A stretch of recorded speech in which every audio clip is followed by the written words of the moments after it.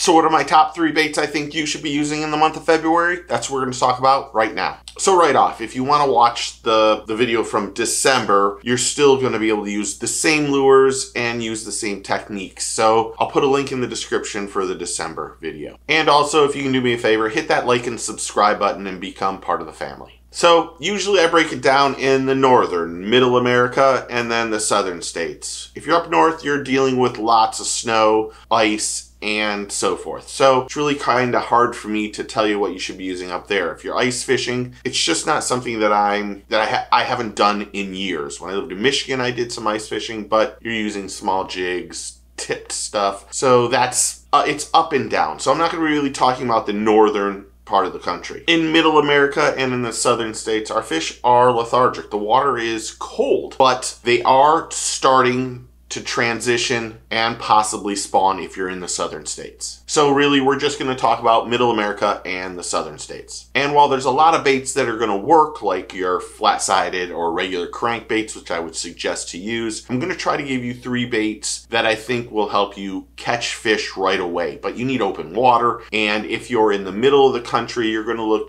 be looking for points because fish are going to stack up on there. They're going to start to move slightly inwards, especially if you're in the southern states. If you're here down down here in Florida, the spawn is happening and the baits I'm going to tell you are working because everybody I know and myself are flat out smashing them with these baits. But if you're using a crankbait or a flat-sided crankbait, slow down.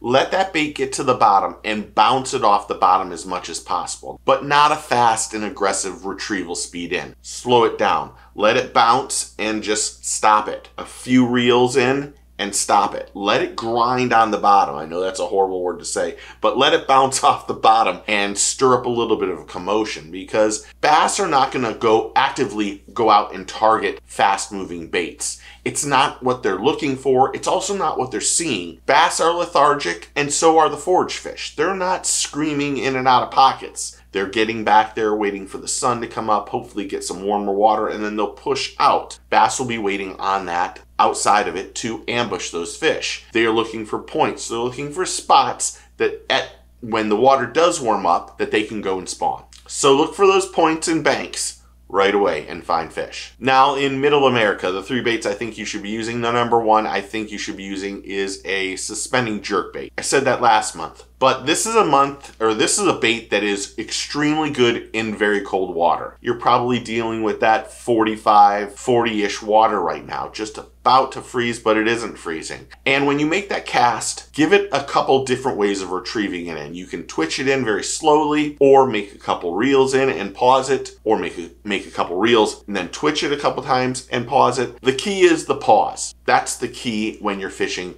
a suspending twitch bait or suspending jerk bait. You want that bait to run and then just pause in that water column. That, that bass will see it from a distance hopefully attack it, and then you're, you're good as gold. But change up your retrieval cadence until you find what's working. There's lots of different ways, like I just said. My second bait I think you should be using is a lipless crankbait. Now, this is not something that you're going to make a cast and rip it through like you're going through grass. You're going to do a slow, almost yo-yo retrieval, where you're just going to lift that rod up from seven to uh, above your head so that bait slowly goes up and then dives down. You don't want to be ripping it through. Don't don't do fast rips. Make it slow. Again, these fish are lethargic. They'll hear that lipless crankbait and they'll come, hopefully come eat it. And my third bait I think you should be using is a small swim bait on a jig head. And in this case, just cast it and slowly retrieve it in. You want that bait to kind of hug the bottom right now. You'll find fish in that 10 to 12 foot range. They are going to move closer to the shore as the water gets warmer during the day. But as it gets cooler, they're gonna they're gonna push back into those deeper areas. So a small swim bait on a really good jig head is going to be very successful for you. Now down in the southern states, I can only tell you what I know is working exactly right now. Here in Florida, my first bait is a chatterbait. Now we have a bluegill spawn that usually happens kind of in March and April, usually Marchish. But right now in February, they're still targeting baits that are moving. Now I suggest that you put a really good swim bait on the back of that trailer. And for me, there's only one, there's a few that I use, but to be honest, there's only one that I use consistently. It's the Smash Tech Blade Aid, and it has a very thin tail that has exceptional action. Pairing the Blade Aid on a jackhammer is as good as it gets. Now, down here, you're not, again, you're not reeling it really fast. You're letting the blade do the work, but also at times stop it. Just let it fall and let the blade do its thing, the back and forth. I know that looks like John Cena, but I'm not. Let that blade work down as it, go- it goes down towards the seafloor. That will entice strikes, slight bounces, slight rips of your, your rod. Not giant rips, but twitches. So it makes a different action and different sound as it's coming back. Right now, the chatterbait is as good as it gets down here. And I can tell you, with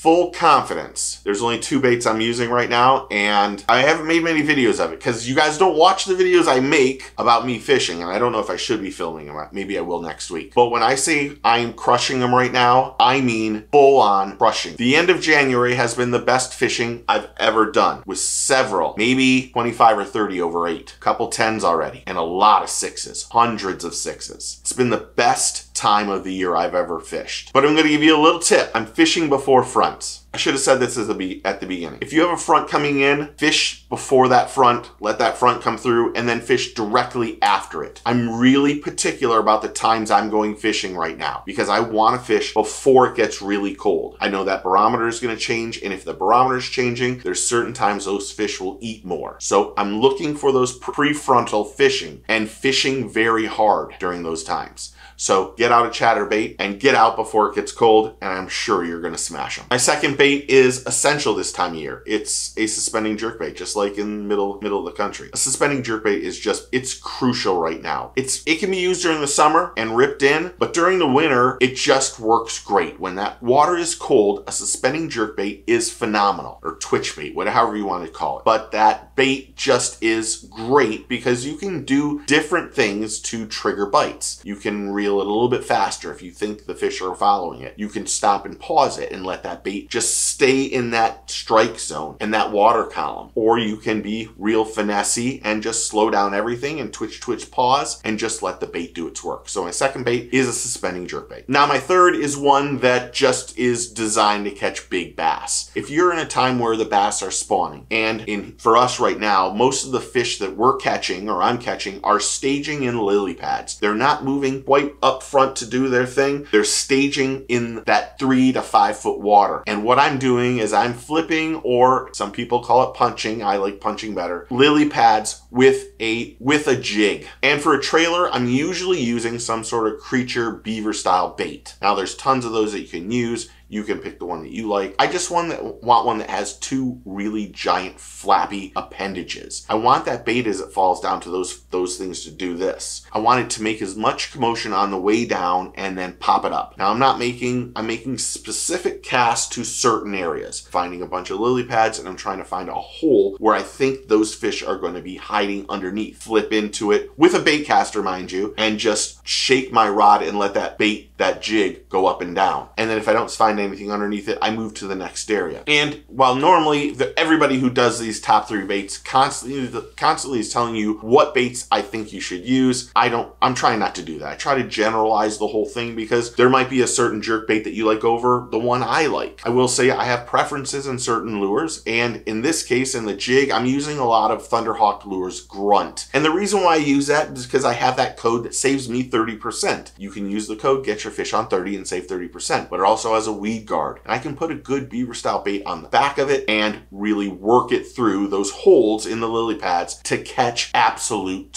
studs. February is a time where if you're down here or you're in Texas or Louisiana, you're probably starting to see a little bit of the spawn starting to happen. Unless you get a really massive cold front like we did last year. I should say, as I film this, we're having a really serious cold front outside and it's going to get very cold this weekend. So I'm going to fish today because I know that front's happening on Saturday and Sunday and today's Friday. So today I'm I'm gonna go fish in some certain areas where I know where there's lily pads and some structure. I'm just gonna try to find those bass that are looking to move up, eat, or even spawn. So get out there and go fishing in February. Do me a favor, tell me what three lures you're gonna use because I always like to see it and I like to hear what you're using. And then it helps me for next year too. So I really do appreciate when you guys put comments in the comment section. Hope you have a great February. Thanks for hitting that like and subscribe button. Make sure you take a kid fishing, get your fish on. I will talk to you very, very soon soon.